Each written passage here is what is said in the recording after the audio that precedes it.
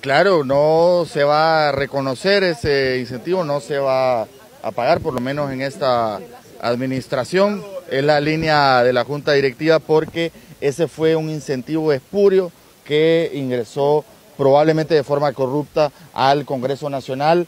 Eh, nosotros ya presentamos una denuncia para que se investigue ese tema y eh, es un tema que es extremadamente lesivo para el Estado. Esos tres centavos en la vigencia de todos los contratos, si se reconociesen, representan más de 17 mil millones de lempiras y eh, no lo va a reconocer esta administración. Exhortamos a todos los generadores que por favor entremos en el proceso de renegociación y lo terminemos satisfactoriamente y que represente un ahorro para las arcas del Estado.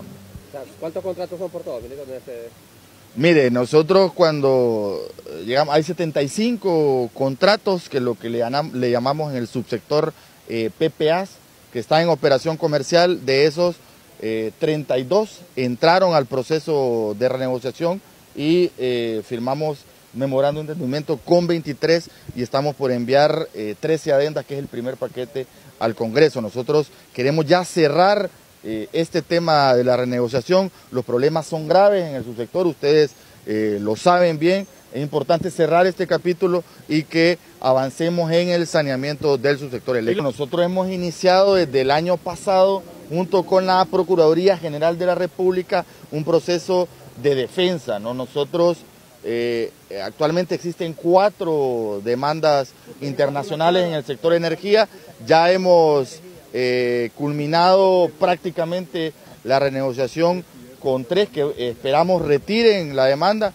Exhortamos a que retiren la demanda en el CIADI a nivel internacional y queda pendiente eh, una todavía. Entonces, eh, es importante avanzar con el tema de la renegociación y que no utilicen la instancia internacional, que se aboquen a las instancias nacionales eh, por ley, por la reforma energética, artículos 3, 4 y 5, está la renegociación, siéntense a la mesa, está la instancia de los comités operativos de los contratos a nivel nacional para resolver eh, esas controversias. Entonces, por favor, retiren las demandas a nivel internacional porque eh, toda la defensa inclusive eh, genera eh, un gasto para, para el Estado. Pues.